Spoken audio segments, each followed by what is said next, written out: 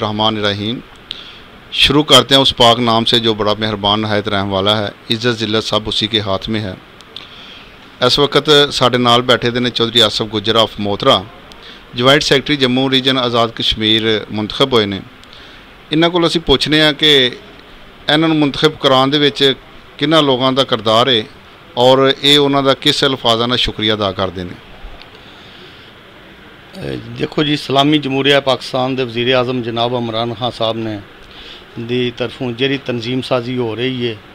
ਔਰ ਉਹ ਉਹਦੇ ਵਿੱਚ ਜਿਹੜੇ ਬੰਦੇ ਉਹਨਾਂ ਨੇ ਨਾਮਜ਼ਦ ਕੀਤੇ ਨੇ, ਉਹ ਇੰਤਹਾਈ ਜਿਹੜੇ ਨੇ ਉਹ ਕਾਬਲੇ ਇਤਰਾਮ ਨੇ, ਔਰ ਉਹ ਜੋ ਵੀ ਕਰ ਰਹੇ ਨੇ ਤਨਜ਼ੀਮ ਸਾਜ਼ੀ ਦੇ ਵਿੱਚ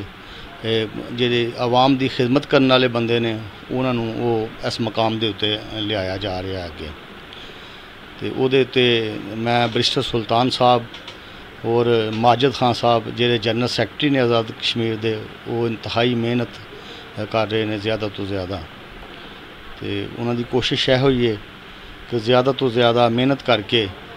ਤੇ ਆਵਾਮ ਨੂੰ ਰਿਲੀਫ ਦਿੱਤਾ ਜਾਏ। ਤੇ ਇਹਦੇ ਤੇ ਮੈਂ ਉਹਨਾਂ ਦਾ ਬੜਾ ਸ਼ੁਕਰੀਆ ਅਦਾ ਕਰਨਾ। ਮਸ਼ਕੂਰ ਹੋ ਤੁਸੀਂ? ਹਾਂ, ਮੈਂ ਮਸ਼ਕੂਰ ਹਾਂ।